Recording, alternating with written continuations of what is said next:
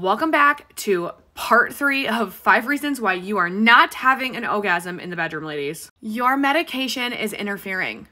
I know, I know. Birth controls, antihistamines, antidepressants, anti anxiety medications. It is all overwhelming, and I'm sorry. Number two, you're sedentary. You're not active enough.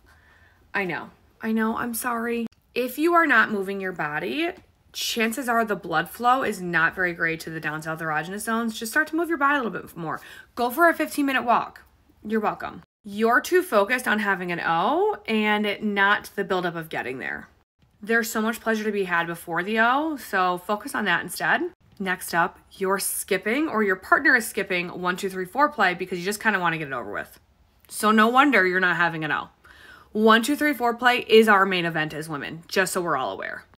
And speaking of that, you're also skipping clitoral stimulation.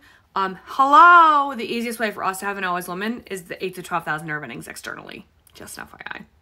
As always, hit the follow button for all my tips and tricks and check out my page for more.